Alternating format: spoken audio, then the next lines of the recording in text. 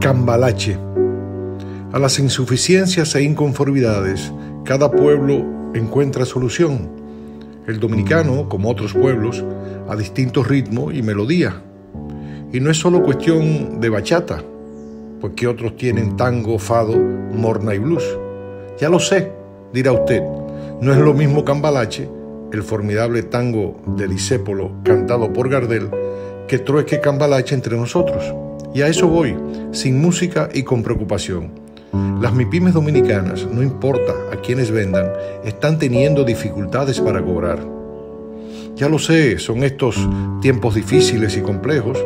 El punto es que lo es para unos más que a otros y hay que prestar atención. Desde mucho antes de la pandemia, no pagar lo despachado en el tiempo convenido era problema serio y muestra de poder.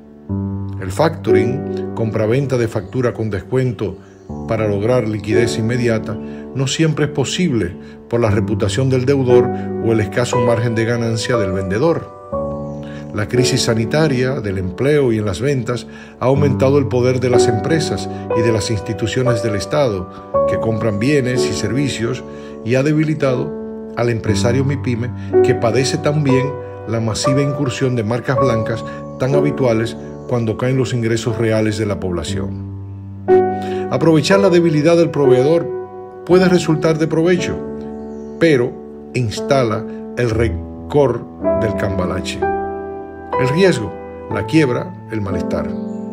Ya lo sé que la democracia es ajena a los negocios, pero ahí está la prudencia para evitar los excesos que se están cometiendo. Cuando las MIPIMES prosperan, el bienestar se siente.